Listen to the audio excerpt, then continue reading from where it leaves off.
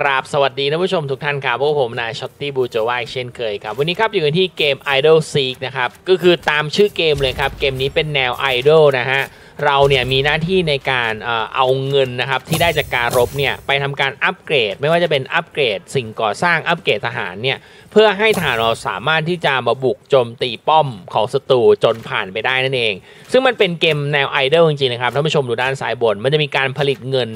ต่อนาที และก็ถ้าเกิดเราเนี่ยไม่ได้เล่นเกมนี้ครับ คือเราปิดเกมไปอะ มันก็มีการผลิตทรัพยากรให้เราด้วยนะครับ เดี๋ยวผมเอาตัวอย่างให้ดู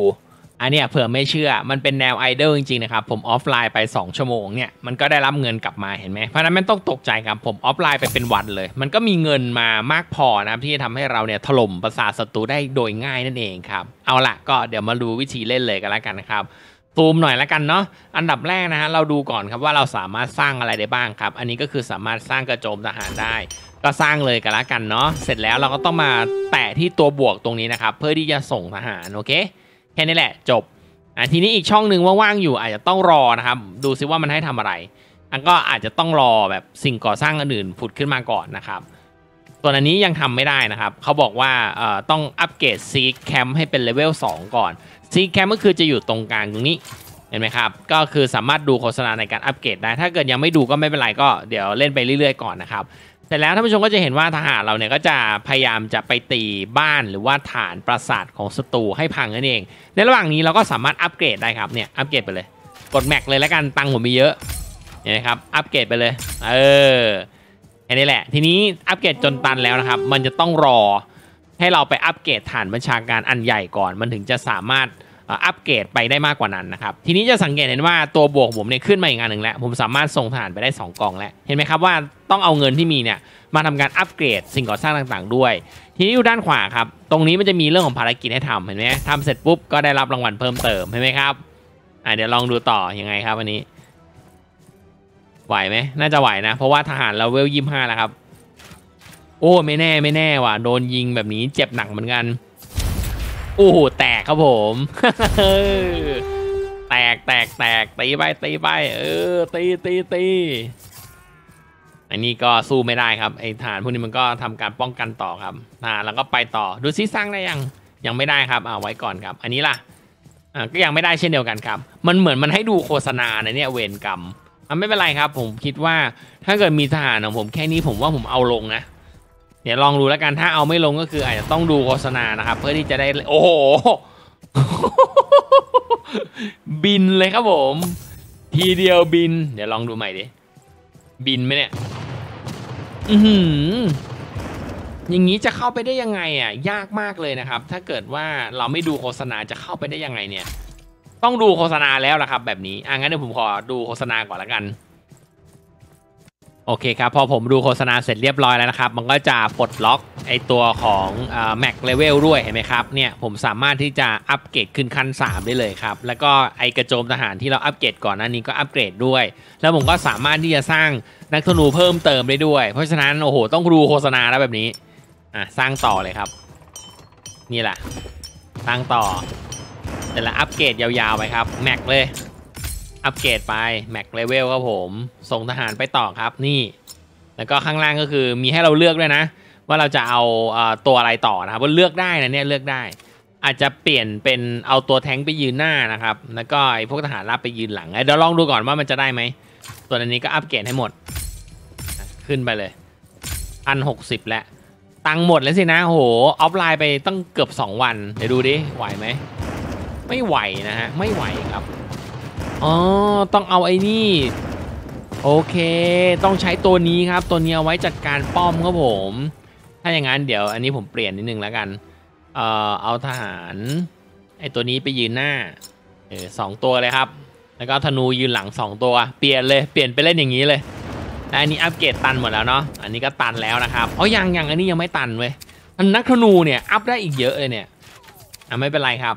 คราวนี้อะป้อมแตกเรียบร้อยแล้วนะครับ ด้วยแผนการรบแบบใหม่ของเรานะฮะเก็บตังก่อน เดี๋ยวรอทหารมันมาบุกต่อนะครับ ไม่ใช่ทหารมันทหารเราป้อมของศัตรูอีกไม่นานบอกเลย อีกไม่นานอะดูทหารของฝ่ายเขานะครับ กับทหารยักษ์ของเราไหวไหมเออเยี่ยมเยี่ยมเยี่ยมทหารยักษ์เรามาแทงครับผม ได้อยู่ครับจังหวะนี้แต่ว่าเราก็โดนไอทหารที่เป็นพลธนูของฝ่ายตรงข้ามยิงเหมือนกันนะครับ ผมว่าอาจจะต้องคละนะเนี่ย อย่างนี้ผมว่าผมคละดีกว่าว่ะ ผมเอาเอ่อทหารราบมาด้วยนะครับคลาคลากันไปคลาคลากันไปอ่าอย่างงี้งี้งี้ผมว่าน่าจะได้ตังเก็บไว้ก่อนเพราะด่านนี้ผมว่าผมไหวว่ะ เดี๋ยวรอเอาไว้ใช้ในด่านต่อไปได้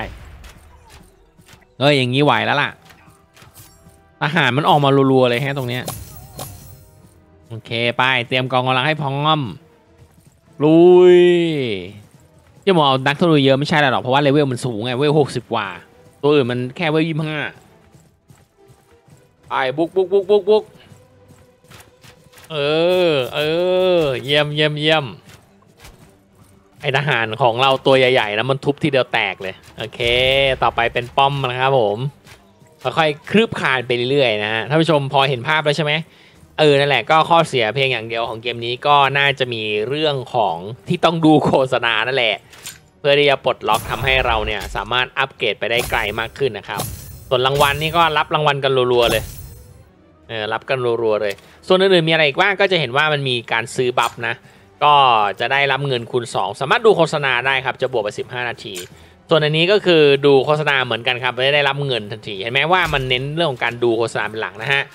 หลังจากที่ผ่านไปสักพักนะครับ ตอนนี้ผมก็สามารถบึ้มประสาทของศัตรูได้เป็นที่เรียบร้อยแล้วนะครับฮีบึ้มประสาทของศัตรูแล้วยังไงต่อ ได้รับรางวัลเพิ่มเติม พร้อมกับมีทหารรูปแบบใหม่มากขึ้นนะครับ แล้วก็มีการสรุปด้วยว่าใช้เวลาใช้ทรัพยากรไปเท่าไหร่เสียทหารไปกี่คนนะครับ และมันก็จะมีการเปลี่ยนแมปครับสำหรับในด่านนี้นะครับก็จะสังเกตเห็นว่าระบบด้านล่างเปิดแล้วนะครับ ถ้าเกิดเล่น 3 ด่านแรกเนี่ยไม่เปิดนะ ที่เปิดมามีอะไรบ้างก็จะมีพวกร้านค้าซื้อของได้นี่ไง no ad ก็คือมีลักษณะในการจ่ายเงินเพื่อที่จะไม่ต้องดูโฆษณาอีกอะไรเงี้ยครับแต่ว่ามันแค่ 14 วันไง จริงๆ น่าจะซื้อขาดไปเลยเนาะแล้วก็จะมีแพ็คเติมเงินเห็นไหมครับ ตรงนี้ก็ 87 บาทได้ตัวละครที่มันเป็น 3 ดาวด้วย ส่วนด้านล่างก็คือจะเป็นกล่องนะครับอะเดี๋ยวผมลองกดให้ดูกันละกันมีฟรีด้วยนะครับเปิดเลยดูซิได้อะไรเอ่ยโอเคครับได้มาเป็นตัวละครโรบินฮูดนั่นเองนะครับโอ้โหน่าสนใจมากครับผม อะแล้วก็จะมีตัวของกุญแจด้วยเมื่อกี้เราได้มาใช่ไหมครับ เปิดเลยครับผมเปิดเลย ถ้าเกิดไม่มีของอันนี้เราก็ต้องไปใช้เงิน cash ในการเปิดนะครับอ้าวอันนี้ได้ซ้ำมาไม่เป็นไรครับ มันก็จะเก่งขึ้นเนาะเป็นการปลด limiter นั่นเองนะครับโอเค อันนี้ก็คือจะมีพวกซื้อ buff ด้วยนะ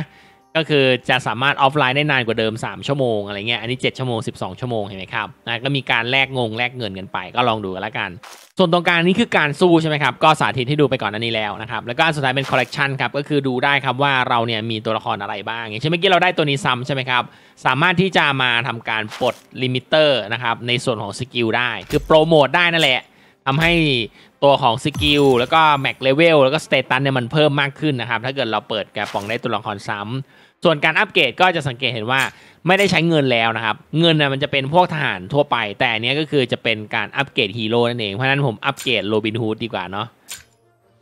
ค่อยๆอัปเกรดไปครับ เอาเท่าที่มีนะฮะตอนแรกนึกว่าจะอัปเกรดทีเดียวหมดไม่ได้ครับผม โอเค อะ ทีนี้เดี๋ยวผมจะเล่นต่ออีกสักนิดหนึ่งกันละกัน เพราะว่าเราได้โรบินฮูดมาแล้วใช่ไหมครับคำถามคือแล้วเราจะส่งฮีโร่ไปได้ยังไง นี่นี่นี่ด้านล่างตรงนี้มันจะมีปุ่มบวกเห็นไหมครับ เราสามารถส่งฮีโร่ไปได้แล้วนะครับ ตอนนี้ แต่ว่าผมต้องสร้างทหารด้วย ยังไม่ได้สร้างทหารเลยใจเย็นพี่ โรบินฮูดอย่าเพิ่งไป แตกเลย แต่ไม่เป็นไรครับ ตายปุ๊บเกิดปั๊บยิงส่งทหารไปก่อน เออ โอเค แล้วก็อันนี้ล่ะ อันนี้ต้องอัปเกรดเจ้านี้ขึ้นเวลสองต้องใช้ตังค์2,004โอเคท่านผู้ชมน่าจะพอเห็นภาพแล้ว เราก็สามารถที่จะเล่นเพื่อที่จะผ่านด่านไปเรื่อยๆ เพื่อปลดล็อกเนื้อหาต่างๆ มากขึ้น แต่หลังจากเนี้ยเนื้อหามันคงไม่มีอะไรมากแล้ว ยกเว้นจะเป็นพวกฮีโร่ฮีโร่แล้วก็เอ่อพวกทหารที่จะมีความหลากหลายที่มันมากขึ้นนั่นแหละเนาะ